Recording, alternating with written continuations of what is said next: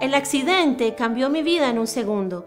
Mi prima me dijo, no confíes en las compañías de seguros, llama al abogado Javier Marcos. Y ese fue el mejor consejo que me pudo dar. Justicia para los hispanos.